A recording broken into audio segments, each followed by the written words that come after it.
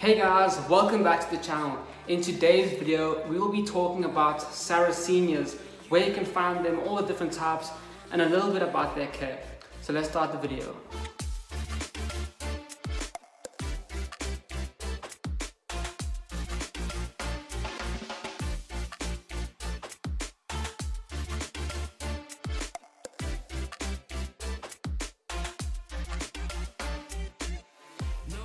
You know what guys, something that's really funny, whenever I'm editing videos, and obviously when I'm talking about different plants, I always hold them up in a pot like this, but all the pots look exactly the same because you know all plants are tiny, you can't even see them. There's just something, I just feel so silly when I hold these up sometimes. So before we start the video, the other day I got a pamphlet in the mail talking about some ice cream that you can get because there's a new place that's, you know, opened back up. I think it's time for us to have a quick little ice cream break. There's a free Kitty's ice cream. So Courtney's gonna get the Kitty's ice cream. Going to the reject shop, Courtney taking you home. They're so big. Mm. Just add some some light. start dancing much more. So how is it? It's okay. It's not worth seven dollars. so there you have it guys. You can tell that obviously the ice cream really wasn't worth it. I find that fast foods in like first world countries is really not that great. I mean, I, I've obviously lived in South Africa. The fast food there is really good. But I've also been to the UK. I was working in the UK. The fast food there is trash. And I've been to Canada and the fast food there is also pretty bad. Yeah, even here in Australia, the fast food is trash. I'd rather just make myself, you know, chicken nuggets from frozen chicken from the supermarket or something. It tastes so much better. Like, yeah, it's super weird, but guess it is what it is. Anyway, this channel is not a food channel, so let's continue talking about the Sarracenia. So obviously we have a Sarracenia purpurea over here, and they're all just little sprouts, as you can see over here, and we have Sarracenia flava outside. Now this video idea is not my own, it was actually suggested by one of our subscribers who wanted us to do, you know, a little bit of a video on Sarracenias, you know, where you can find them, the care, and just them in general, because as he said, there aren't many videos out there about Sarracenias, so here's the video. And that also means that if you guys want me to cover any specific topics, please let me know in the comments. I'll be super happy to address the topics that you guys think are the most important. So let's continue talking about the Sarracenias.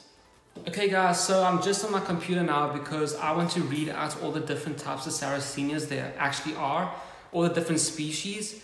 And obviously I can't remember them all because there's literally that many.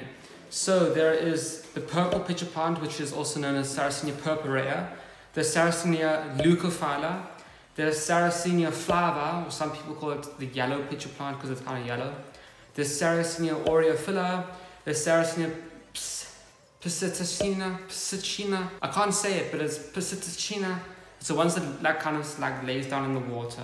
Sarracenia rubra, Sarracenia minor, Sarracenia alabamensis. I mean, I've heard of it, but I, yeah, I don't really remember it. I've heard of it, but I don't remember it. And there's Sarracenia rosea here, but I think that is just Sarracenia purpurea as well. So as you can see, Wikipedia is telling us is that there's 8 to 11 different species of these Sarracenias, which are also known as pitcher plants or North American pitcher plants because the other pitcher plants are actually Nepenthes. So obviously these are just the species that I've listed so far. There are obviously tons of subspecies and forms and different varieties and crosses of them all.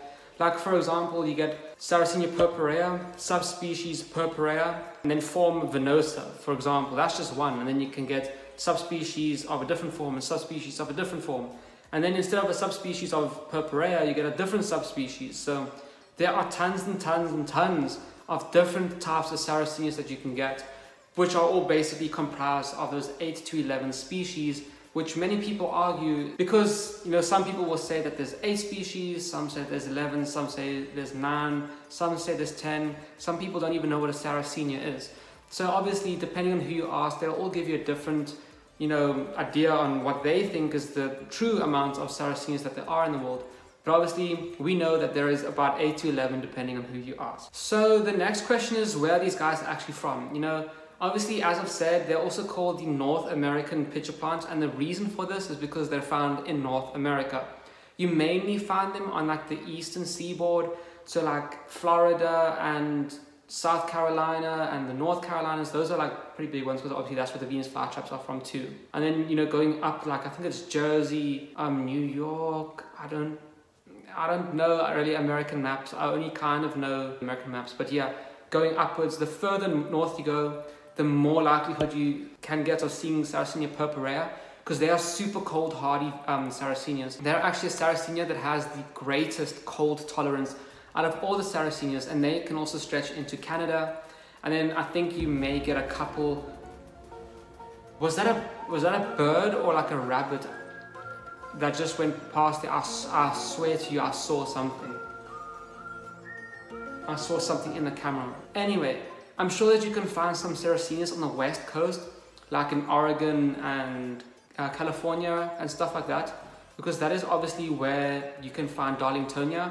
I'm pretty sure that you can find them all around the sides of, of North America, but not so much in the middle of America. So let's talk a little bit more about how you actually grow these guys. So obviously, as I've said, these guys are native to North America. So how do these guys actually grow? Well, if you're growing them from seeds, you have to give them something called cold stratification.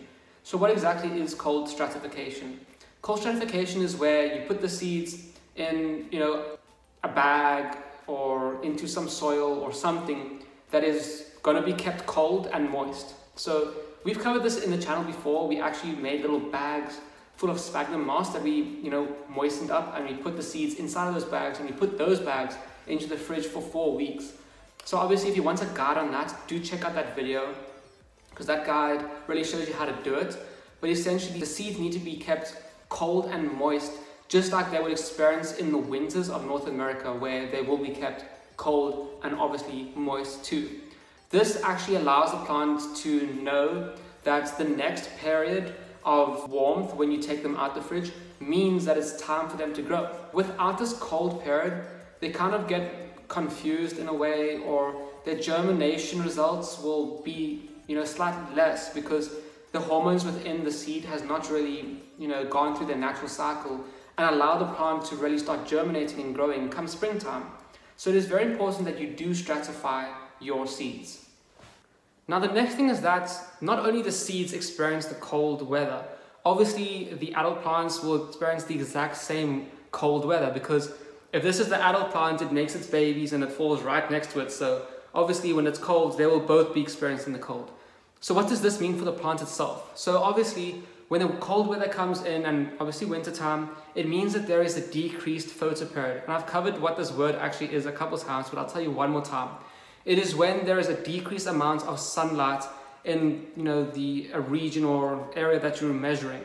And what this means is that your adult Sarracenias, they go to sleep because they want to conserve their energy throughout the winter and store all that energy in a rhizome that they have growing underground. And this is something that all Sarracenias do. They all go to sleep in winter, they don't throw out any new pitches, and they store all their energy in their rhizomes underground. And come springtime, they start making brand new traps, bigger and much stronger than the last season. And obviously, it really helps the plant grow super, super well and super, super strong. So you must always ensure that you give your Sarracenias a winter dormancy if you want your plants to live a long and fruitful life. So another thing about their dormancies and springtime is that some of these Sarracenias, they put out pitches kind of at different times of the seasons. Yes, they all grow when it's warmer, springtime, summertime, and some of them late autumn. But obviously, each species will be creating the pitches at different times. For example, I know that Sarracenia leucophylla often keeps their pitches later in the season. So come into autumn time, that's when they really make some of the biggest and best pitches. Whereas Sarracenia flava really makes their new pitches right at the beginning of spring. And in autumn time, they don't make any new pitches. So this is obviously something between all the different Sarracenias. They all have different, you know, periods within their growing season where they put out their biggest and best traps. So that is something to keep in mind if you're growing these guys that you know, even though it's their growing season, they may not look the best all the time throughout their growing season. So let's talk a little bit more about their care. So as I've said, these guys are native to North America along the eastern and maybe the western seaboards. What this really means is that they are native to, you know, boggy, marshy areas. And this is really an area with slow moving water that is all collected in like a shallow bowl of land. And in this bowl of land, obviously this rainwater has collected and, you know, leaf materials and mosses and whatever grows and dies and creates very acidic soils. And this is where you can oftentimes find Sarracenias, Drosera, if you're living in the Carolinas, the Venus flytraps. So that's a great place that you find them. And in such, if you're growing your plants, you really need to try and imitate this environment as much as you can. This means that you should really grow your Sarracenias in a mixture of peat and sand or peat and perlite, which is most similar to their natural growing environments. I will actually put links to those brands in the description below in case you do want to get some peat for them. But essentially, peat and sand, peat and perlite is very good for them. Just don't overwater them. Well, talking about watering, we should cover that too. So as I've said, these guys live in bogs and marshlands and just like Venus flytraps, they need to be kept in a bowl of water. And the reason for this is so that they have water available to them, you know, constantly, just like they would naturally have in the wild. So obviously, when this water bowl starts to get low, once the tray is actually dry, then you can fill the pot back up with some more water. The water to use is distilled water, reverse osmosis water, or rainwater. The best you can use is rainwater, but obviously if you can't get rainwater, definitely look at getting distilled or reverse osmosis water. And some people actually use something called zero water zero water pitchers, and this is like one of those like water jugs which has like a filter in it, and it actually does work for carnivorous plants. Obviously not a lot of them because it doesn't make a lot of water at once. But if you do want to check out that product, I also have it in the link below so you guys can use that product, you know, obviously to filter your tap water and give that to your plants and it'll be super good for them because this water will be low in nutrients just like what they would experience in these boglands. Now what about sunlight? How much sunlight do these guys need? Because obviously they should be grown just like Venus flytraps and Venus flytraps need a lot of sunlight. So as I said, just like Venus flytraps, Sarracenias love sunlight. If you can keep them outside in the full direct bright sun for at least 8 hours a day, these guys will be extremely, extremely happy. All of my Sarracenias are growing outside. Actually, every single one of our carnivorous plants are growing outside and they get at least 8 hours of direct sunlight every single day. And this really allows them to color up and have amazing colorful pitches. You know, just like the Sarracenia purpurea, it can have nice dark purple pitches. The Sarracenia leucophylla can have those green and white pitches.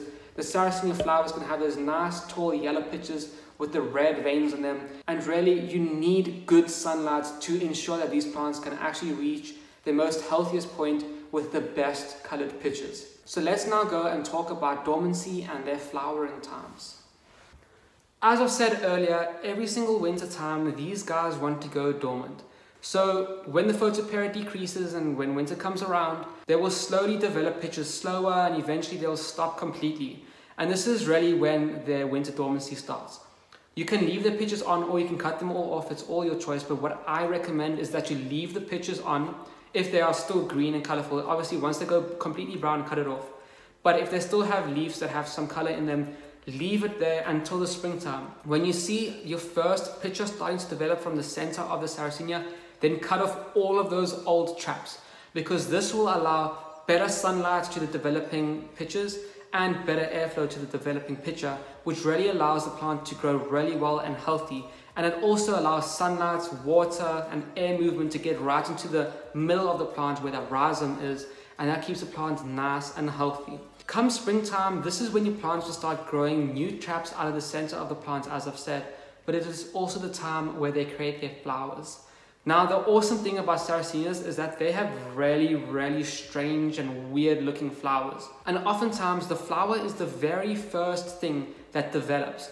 You will see like a round little ball coming out of the center of your plant, and it starts stretching out on quite a thick stem. And you think to yourself, what the hell is going on here? Obviously, the flower starts off as a little ball. It grows very, very tall, sometimes up to two or four feet, depending on the species and obviously the maturity level and that flower slowly, you know, develops petals and sepals and sepals and all the different things, and it comes up at the ground. And if my, I'm dancing again here.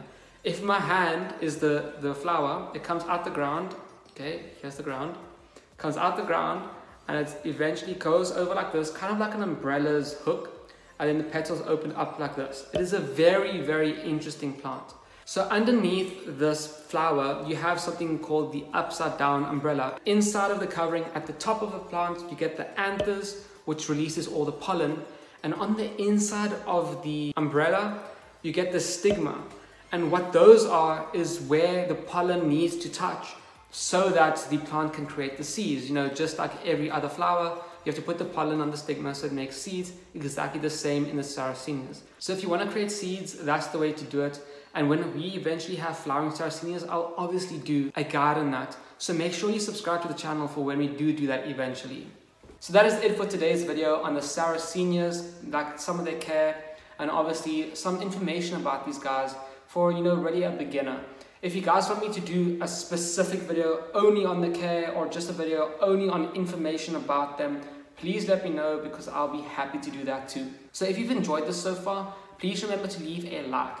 Now, you may remember that a couple days ago, we won our Drosophyllum seeds and I'm still waiting for the seeds to arrive. I have absolutely no idea when they will arrive, but the date arrives, I will film a video for you guys. So yeah, I have no clue when it will be and hopefully it's soon, hopefully it's sometime within the next two days. I think it will come tomorrow on Tuesday because I just, I just have a feeling that it will come tomorrow, but obviously it's just a feeling. So yeah, hopefully sometime this week we'll get them so we can plant them up together. I'm super, super excited to grow them with you guys. And we will continue doing our weekly Wednesday updates on all our plants and our Friday FAQs and our Saturday species spotlights. If you guys want me to do any specific things on each of these days, please let me know in the comments below and if you want me to cover any other topics, any other things you would like to know about these plants, just other things in general, please let me know in the comments below. I'll be very happy to talk about them, address them, and you know, just share it with you guys. So if you haven't already, please consider subscribing to the channel because obviously if you've watched this much of the video, you probably enjoy the rest of the content that we make every single week. So I'll see you in tomorrow's video.